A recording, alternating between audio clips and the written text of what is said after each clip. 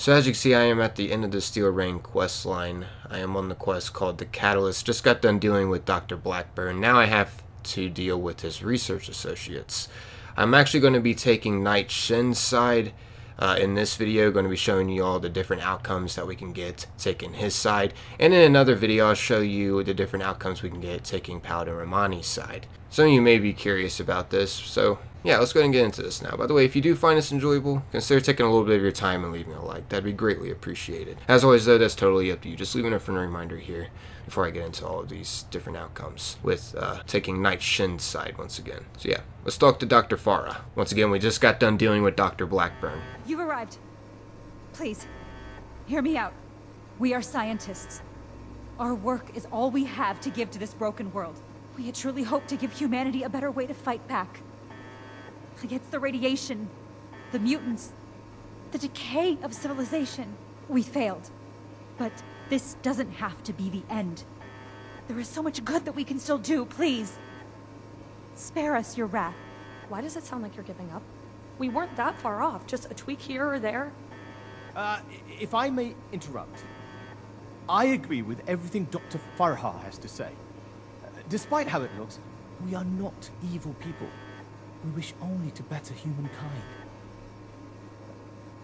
Knowing that, what are your intentions with us? Alright, so let's just get straight into this. I'm just going to be making a decision now. Just because if I went over all of the dialogue options, all of the scientists have to say, plus Paladin Rahmani and Knight Shin, I just feel like this video would just be way too long and not as entertaining. So I'm just going to get straight into making the decision, and once again going with Knight Shin's side. And what has your organization decided? Just to show you all the outcome over what happens, in case you guys are maybe having a tough time deciding, or you're just curious just genuinely curious. Actually, you know what? I still need to think about this. By all means. I'm just playing. Alright, so, yeah. Let's go with this option here. Knight Shin is right. You should be executed. Is that truly how you feel? I trusted you. Please, spare my associates. I take full responsibility for their actions. There's no need. You're coming back to Fort Atlas with us. No. I won't stand for your coercion any longer. Your righteous crusade has gone too far. You are no paladin of the Brotherhood. You haven't been since you destroyed that transmitter. Your reign is over. The initiative's with me. Step aside and let us do what's necessary. I guess the Elder's grip is tighter than I can break after all. I tried to make you see reason. But after all this, you remain their lapdogs. The Brotherhood can't be changed after all. I will have to start anew elsewhere. Whew. Dude, Knight Shin looks like he's about to tear Rahmani apart. Jeez. Anyways, first off, I'm going to be choosing the attack option here, and then I'm going to run through the Brotherhood of Steel story again, and choose an option where we don't kill her too, but we still take Knight Shin's side, just to see the differences and what's all said. But yeah, starting off here, let's choose to attack her. You're a traitor. I had hoped it would never come to this.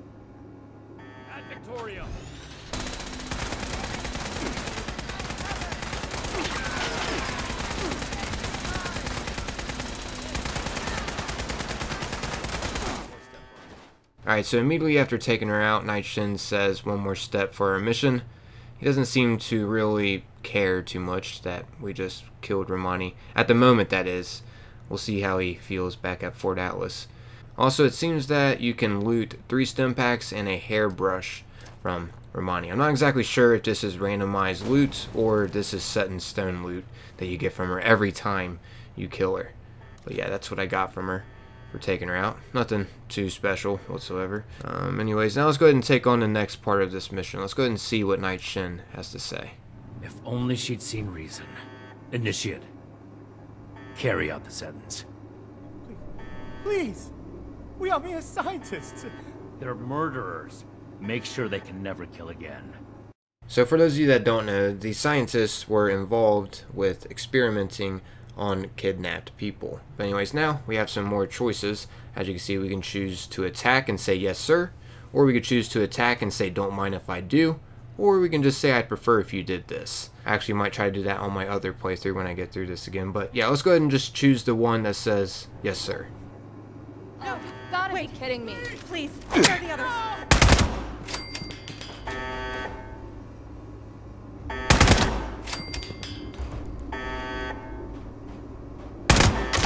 Done. Return to Fort Atlas. Then we can discuss everything that's happened. Okay, so now let's head back to Fort Atlas and see what all is said about this outcome. It pains me to say that Rahmani gave her life to defend these criminals. Her last act was not as a Brotherhood paladin, but as a person following her own misguided moral principles.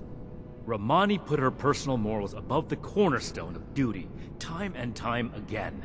Her irresponsibility threatened to shake apart the foundation of order that allows us to be an effective force of action. But however misguided her decisions were, Rahmani always acted with the intent to help humanity. If we are to retain anything from her leadership, let it be that. The Brotherhood of Steel seeks to forge a lasting future. We must be humanity's strength. Strength to eliminate threats, overt and covert. Strength to keep dangerous technologies safe. Strength to make the decisions that no one else wants to make. We are humanity's rock, standing against the harsh enemies of war, disease, and time. We must not falter. Ad Victoriam!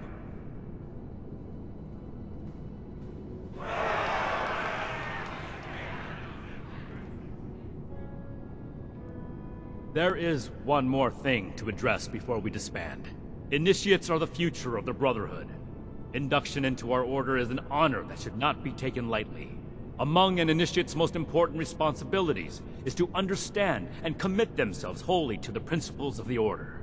I've come to understand that one initiate will never be able to meet this goal. They have other important responsibilities in Appalachia.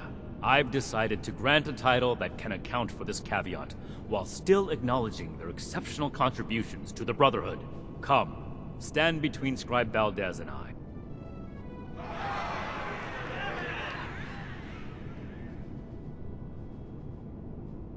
For outstanding contributions to the Brotherhood mission as an outside party, I hereby confer on you the permanent title of Knight Errant.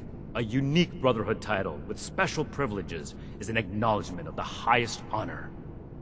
May it serve as an inspiration for the rest of you. Dismissed. Alright, so we just got promoted to Knight, and we got two new optional choices here, which we're going to do, to check out what they have to say about the outcome that we just chose. So yeah, first off, let's talk to Scribe Valdez and see what she has to say. So, Paladin Rahmani is gone. I can't believe it. I wanted to be optimistic about their conflict, right up until the end. But the more I think about it, the more I feel like maybe this was inevitable. If only there was more I could have done. We can choose to flirt after all of that? What? I'm gonna go with that option this time around, and then the next time I'll choose a different option to see what she says. Well, that's going a bit far, isn't it? But it's a very nice thing to say. Um, thank you. Yeah, I have to agree, that response did seem a little too far, and, and just corny. But I just wanted to see how she react. Anyways, let's ask her, so what are you going to do now? I'm going to keep doing my job. With one officer down, there's going to be a lot of slack to pick up. There's still a lot more I'd like to see out there, but right now, I need to support the Brotherhood. Okay, so let's go with the next option here. How do you think the Brotherhood will fare with its new leader? I think it might start feeling a little more like back home, with the Elders. We're going to have a lot of work to do to make things safer in Appalachia. Without Paladin Rahmani to counter his priorities, Knight Shin will have a plan laid out in no time. Alright, so let's go ahead and say thanks for everything you've done. Don't mention it. As the resident scribe, it's my job to keep things functioning around here. Until next time. Anyways, that's all the dialogue options we have with Scribe Valdez after taking out Paladin Rahmani. Now let's go ahead and check out what the residents have to say. Starting off here with Russell. Did that really just happen? I knew things between the higher-ups were shaky, but to come to blows. Real, actual bullets? Paladin Rahmani. She was so passionate about our cause, I... I really believed her. It's going to be hard getting used to this. Yeah, he seems to be taking it pretty hard. Let's do this option here. This seems like more for Knight Shin's side. It's for the better. Knight Shin is going to pull this brotherhood back in line. Yeah, I know he will. And it's only right for a military organization. following protocol, getting back in contact with the Elders. But I'd be lying if I said I wasn't worried about losing our spark. You know, Paladin Rahmani's commitment to helping people. Anyway, I'm gonna get back to it. See you around, Knight Errant. Oh, what? We can only choose one option? Anyways, let's see what Houston has to say.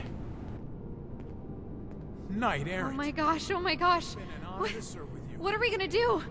Who's gonna handle everything? Who's gonna lead the recruits? What am I gonna do? Oh gosh. Let's choose this first one here. Deep breaths, Houston. Deep breaths. Okay. Okay, I think I'm alright. Congratulations. I don't do well with really big changes. I'm still a little Like, shocked about what happened. For example, my boss dying. I think I'm just. I think I need some time to process this. I'm gonna sit down. Okay, so now let's see what Knight Shin has to say before the quest ends. I trust the title change didn't come as too much of a surprise.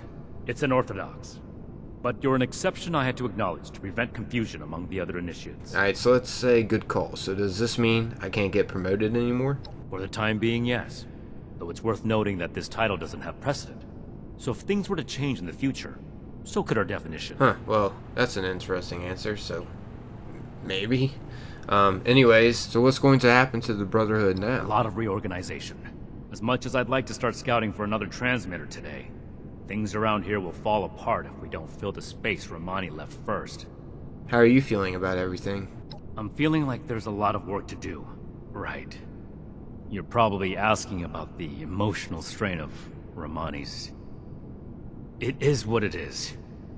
As a soldier, I have to stand up and move on.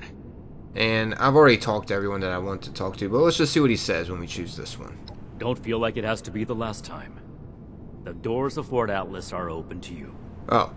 Oh, okay, so he's super friendly with us. Still socialize. Anyway, so now let's go ahead and just complete the quest by saying, well, my business at Fort Atlas is done for now. I'm going to head out. Good work out there. The Brotherhood won't forget it. Ad Victoriam.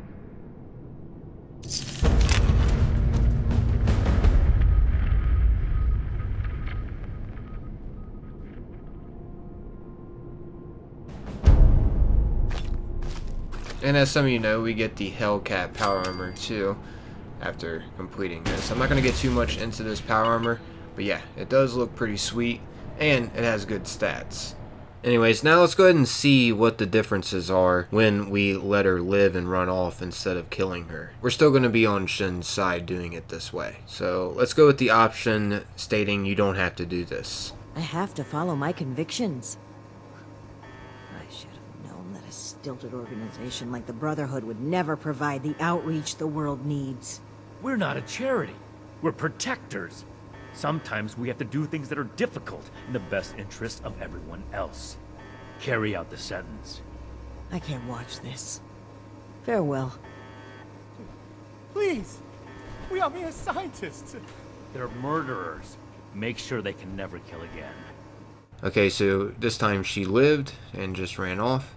And for this time around on these choices, let's go with the one where we don't attack. Let's see what he says about that. Let's go ahead and go with the option that says I'd prefer if you did this. You won't always get to be so weak of heart.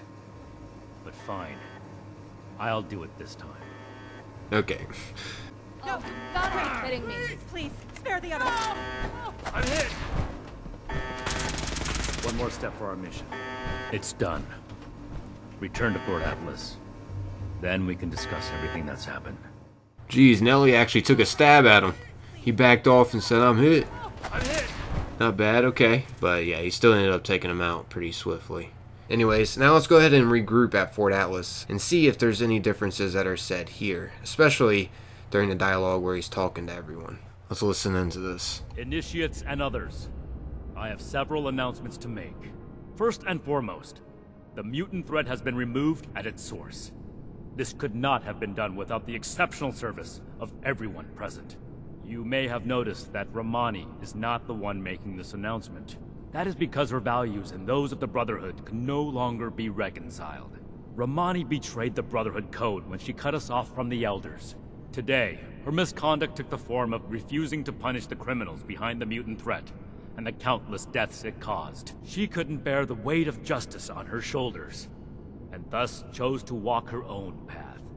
In exile, Rahmani put her personal morals above the cornerstone of duty, time and time again. Her irresponsibility threatened to shake apart the foundation of order that allows us to be an effective force of action. But however misguided her decisions were, Rahmani always acted with the intent to help humanity. If we are to retain anything from her leadership, let it be that. The Brotherhood of Steel seeks to forge a lasting future. We must be humanity's strength. Strength to eliminate threats, overt and covert. Strength to keep dangerous technologies safe. Strength to make the decisions that no one else wants to make. We are humanity's rock, standing against the harsh enemies of war, disease, and time. We must not falter. Ad Victoriam! Okay, so there were some differences with this speech. I'm gonna go and play his speech again after we decided to attack Rahmani now, just for a quick comparison. It pains me to say that Rahmani gave her life to defend these criminals. Her last act was not as a Brotherhood Paladin, but as a person following her own misguided moral principles. Rahmani put her personal morals above the cornerstone of duty, time and time again. Her irresponsibility threatened to shake apart the foundation of order that allows us to be an effective force of action. But however misguided her decisions were, Rahmani always acted with the intent to help humanity. If we are to retain anything from her leadership, let it be that. The Brotherhood of Steel seeks to forge a lasting future. We must be humanity's strength. Strength to eliminate threats, overt and covert. Strength to keep dangerous technologies safe. Strength to make the decisions that no one else wants to make.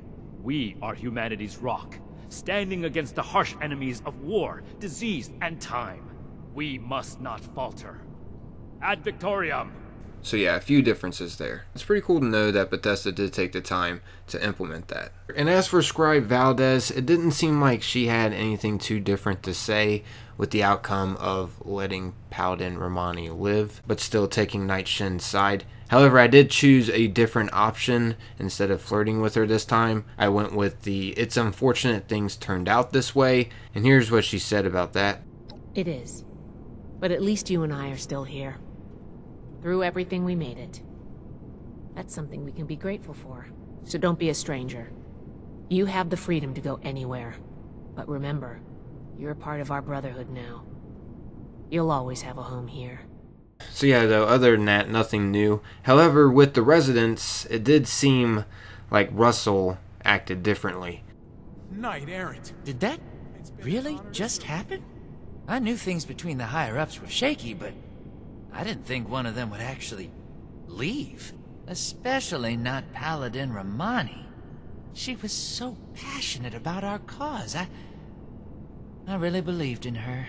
It's going to be hard getting used to this. That's the dialogue we get if we let her live and run off. And here's the dialogue that we got when we decided to attack her. Did that really just happen? I knew things between the higher-ups were shaky, but to come to blows.